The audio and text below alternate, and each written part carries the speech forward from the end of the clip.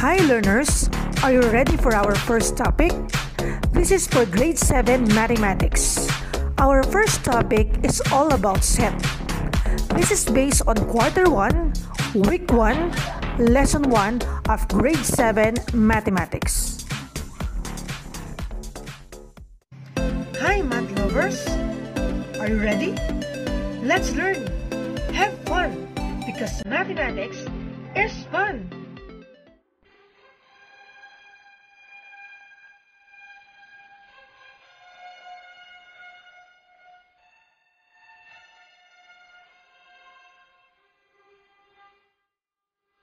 Our topic for today is all about set. Set is a number of things of the same kind that belong or are used together. It is a well-defined group of objects that share a common characteristic. It is denoted by the uppercase letter A, B, C, and up to X, Y, C of the alphabet. The elements of the set are denoted by the lowercase letter A, B, C, up to X, Y, C of the alphabet.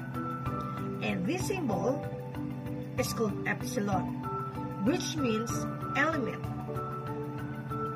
Braces are used to indicate the set. There are two methods in writing set.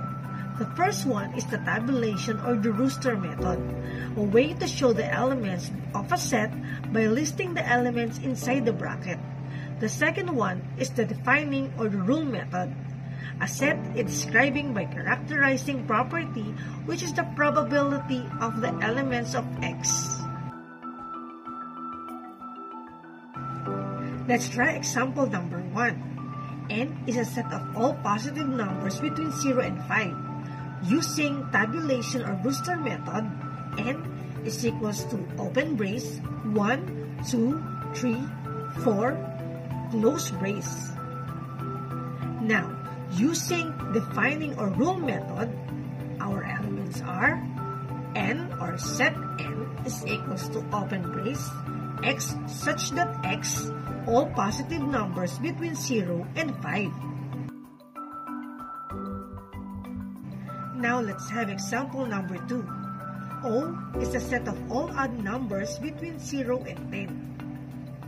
Using the tabulation method or roster method, our answer is O is equals to open brace 1, 3, 5, 7, 9, close brace and using defining or rule method, O is equals to open brace, x such that x, all odd numbers between 0 and 10.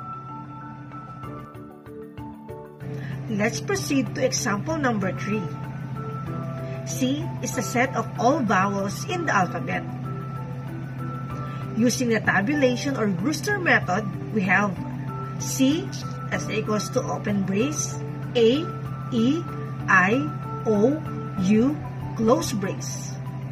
And using defining or rule method, C is equals to open brace, X such that X, all vowels in the alphabet, close brace. What have you noticed about the elements? There are some sets that consist of several elements. Some have few, and some have nothing at all. Goodbye! See you in our next class.